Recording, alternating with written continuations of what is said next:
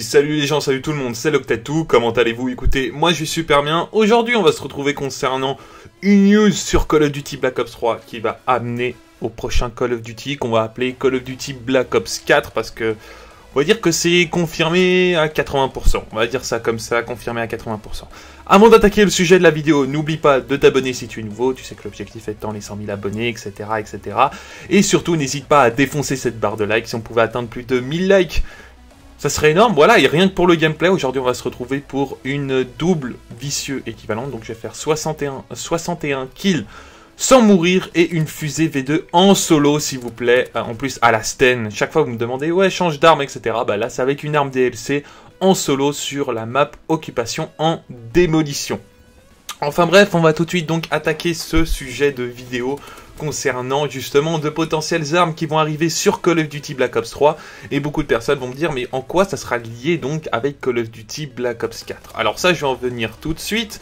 Et pourquoi en fait je vais parler de ce sujet là parce qu'il y a déjà de rumeurs qu'il euh, y aurait une prochaine mise à jour sur Call of Duty Black Ops 3. Alors certaines personnes vont dire ouais mais les rapports entre les sujets de mise à jour sur Call of Duty Black Ops 3 etc. On en a déjà parlé, c'est vrai que j'en avais déjà parlé, j'avais fait juste une vidéo là-dessus euh, de potentielles nouvelles armes, ou que les armes sont déjà là-dedans, hein, oui, parce qu'il faut déjà penser à l'avenir. C'est vrai que faut pas oublier que Call of Duty Black Ops 4, euh, c'est un, c'est un code qui va être travaillé pendant 2-3 ans.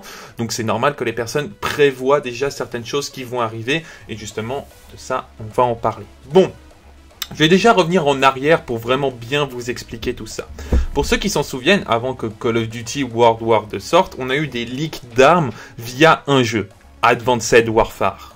Pourquoi je dis ça? Tout simplement parce que sur Advanced Warfare, euh, Michael Condrey a dit que vous pourrez jouer avec des armes de Call of Duty World War 2. Pour ceux qui s'en souviennent, j'avais fait des lives sur ma chaîne, etc.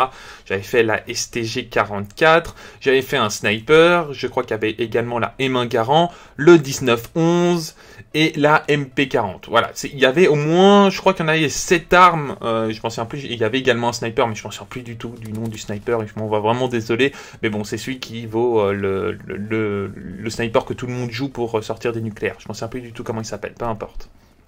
Là-dessus, et ça va être très important.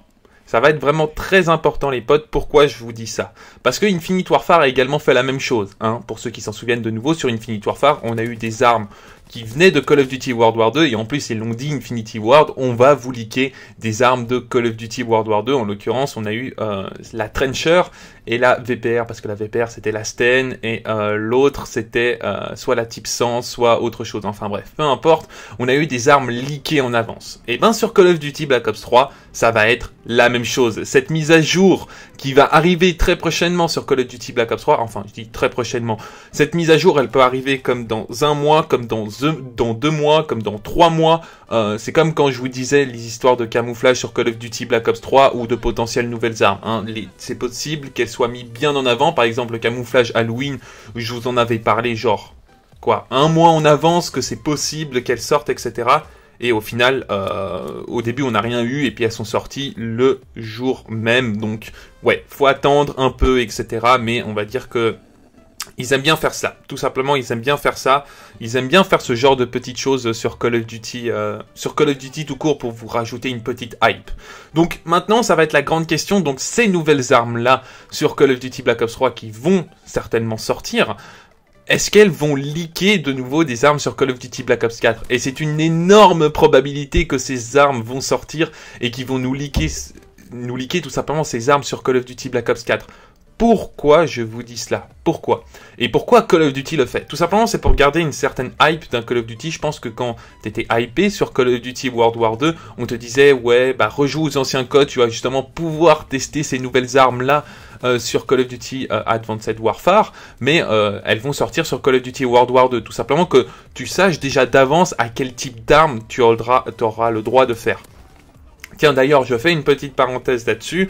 Il y a également une grosse rumeur disant que Call of Duty Black Ops 4 serait avec Jetpack. Je crois que c'est un mec, un YouTuber américain ou un joueur pro, je m'en souviens plus du tout. J'ai juste lu en diagonale l'article parce qu'il m'intéresse m'intéressait pas trop parce que c'était plus pour faire du buzz qu'en soi.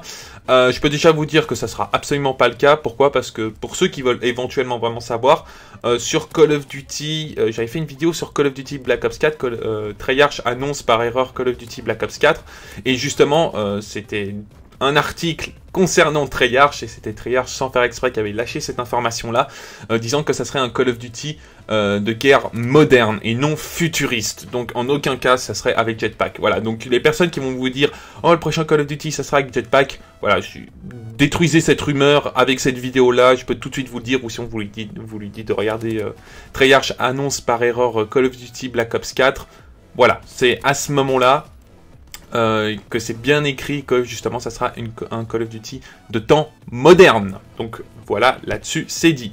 Enfin bref, donc ça sera certainement des armes qui vont être leakées. Alors je pense pas que ça sera des armes leakées via Call of Duty World War 2, parce qu'il y a certaines personnes qui pourraient penser ça, mais il faut pas oublier que Call of Duty World War 2 est un jeu de, de deuxième guerre mondiale et que le prochain Call of Duty est un jeu de guerre moderne. Donc ça serait totalement débile de niquer tout, tout ce que Sledgehammer a fait en voulant mettre un jeu concernant, euh, en, voulant mettre des armes concernant une future guerre moderne. Ça serait totalement débile.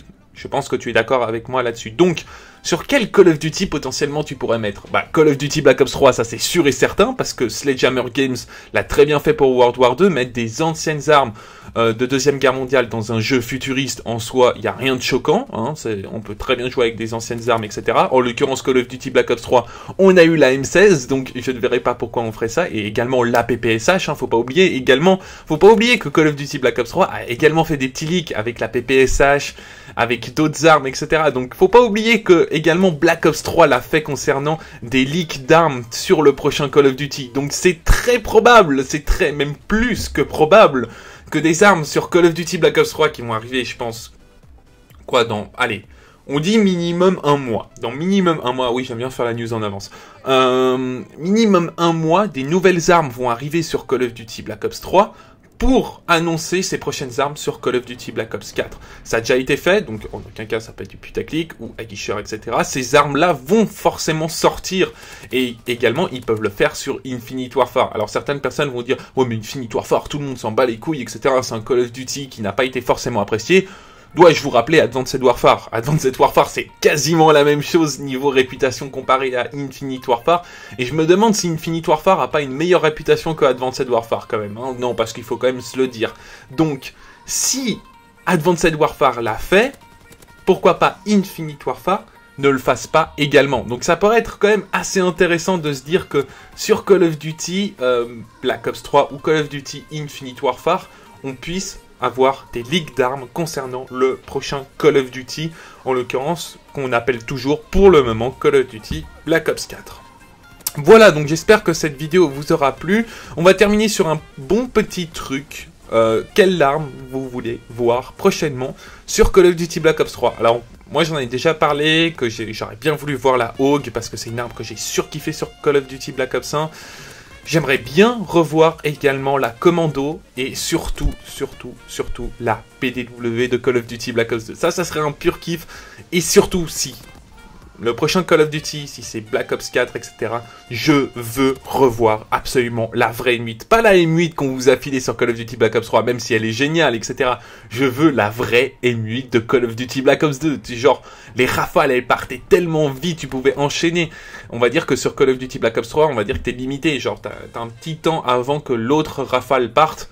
Et c'est un peu dommage, voilà. Moi, je préfère vraiment la M8 de Call of Duty Black Ops 2. Donc vraiment, s'il y aurait trois armes que je voudrais revoir, la Hog de Black Ops 1, la Commando, c'est une arme que j'ai surkiffé, et ensuite la PDW de Call of Duty Black Ops 2, et si possible, alors ça, ce sera un truc de malade, le C4 de Black Ops 2, le vrai C4, pas le C4 qu'on a eu sur Call of Duty Black Ops 3, mais je veux dire le vrai C4 de BO2, c'est-à-dire tu le jettes dans l'air et si tu as envie de le faire sauter directement, tu le fais sauter. Enfin bref les gens, c'est la fin de cette vidéo, j'espère qu'elle vous aura plu. N'hésitez pas à me dire qu'est-ce que vous avez pensé dans l'espace des commentaires, de partager cette vidéo partout à tous tes potes qui soient au courant, etc. Voilà, à quoi vous attendre très prochainement sur Call of Duty Black Ops 3 et euh, de toutes les potentielles armes qui vont arriver ensuite sur Call of Duty Black Ops 4. Et surtout, surtout, de lâcher ton petit pouce bleu. Voilà, pour ce petit gameplay. J'espère que ce petit gameplay sur World War 2 vous aura plu. Moi, je vous dis bye et à la prochaine. C'était l'Octet Tour. N'oubliez pas que lundi, il y aura très forcément, très, très probablement, on va dire ça comme ça, le live sur Call of Duty Black Ops 1 et sur les anciens codes. Allez, c'était l'Octet Tour. Peace out.